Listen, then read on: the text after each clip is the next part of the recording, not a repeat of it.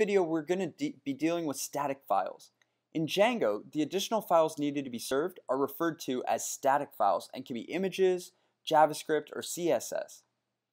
I want to change how the project status, static files are locally served.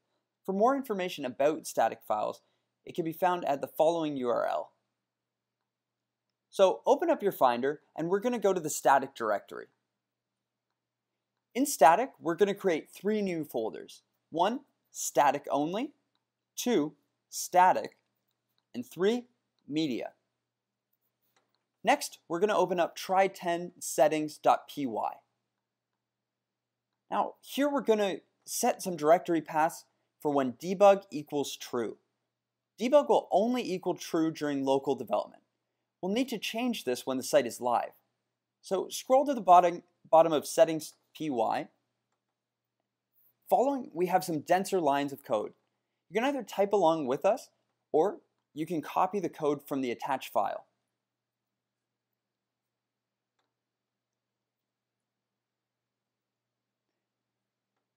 The media directory will be able to hold user-generated content such as image files.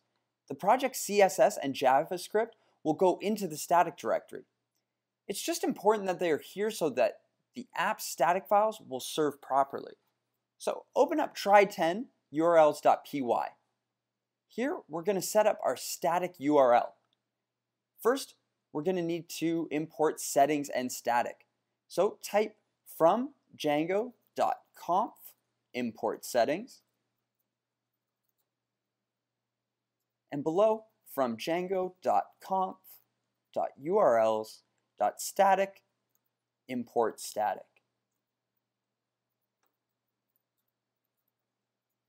And then at the bottom of the page, we're going to type if settings.debug colon under that URL patterns plus equals static bracket settings dot static underscore URL document underscore root equals settings dot static underscore root.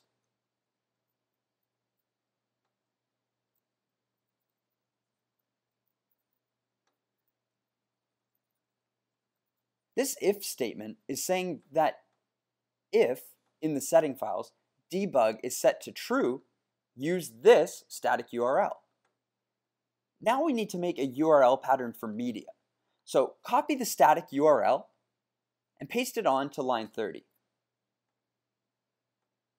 Type onto that media underscore URL, then at the end of the line media underscore root.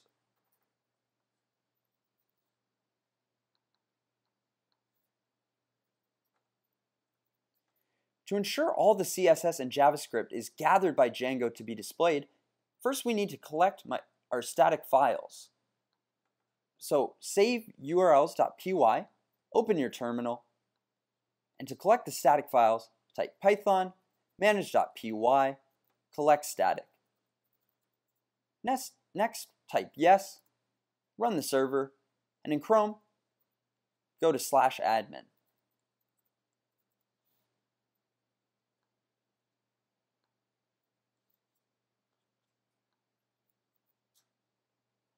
Everything's going to look the same. This is because no CSS or JavaScript has been modified, so there's nothing new to see. In the future, when we update our CSS and don't see any style on a page, it's likely because we forgot to run collect static. Now the project static files are set up and working.